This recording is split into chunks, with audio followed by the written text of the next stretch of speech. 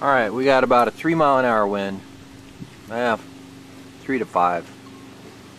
Here you can see pretty clearly the difference between a lift and a drag turbine. Those turbines are turning at about hmm, 20 RPM and this one is turning at about 50 60 RPM. It's about twice as fast. The other thing is, I'll show you the telltales. You can tell it's in lift because on the um, downwind side, if that tail is blowing forward of the wing, it's below TSR1.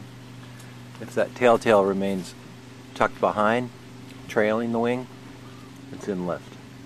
So I'll go. I'm showing you basically the inside of that downwind wing. You can see when that telltale stays behind, it's basically in lift. So that green telltale, you see it? Kind of hard to see. But anyway, if it remains behind the wing, we're in lift.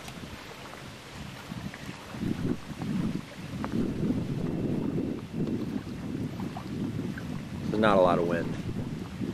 Occasionally get a little gust.